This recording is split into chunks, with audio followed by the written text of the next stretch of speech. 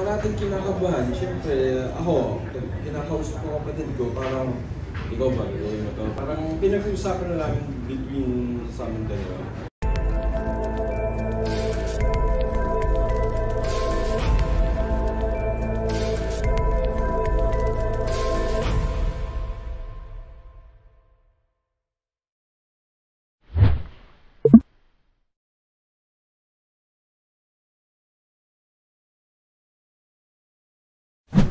Ako hindi ko masasabi kasi yun nga, katulad ng sinabi ko kanina, hindi naman, uma- hindi naman umabot yung bonding time na namin na maglabas kami ng secret. So, para sa akin lahat kami, ano eh, o, ano eh, may tinatago.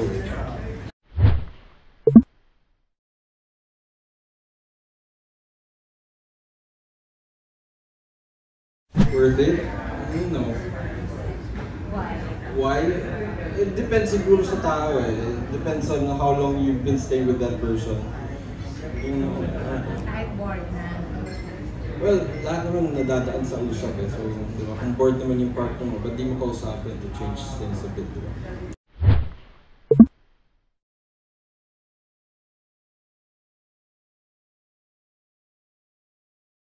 Parating kinakabahan, siyempre, ako, kinakausap ko kapatid ko, parang, ikaw ba, gawin mo to? Parang pinag-uusapan na namin between sa amin dalawa.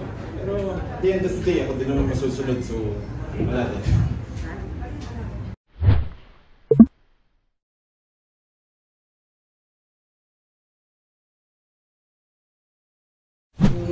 Inspiration ko lang siguro yung family ko lang talaga. Yun lang talaga.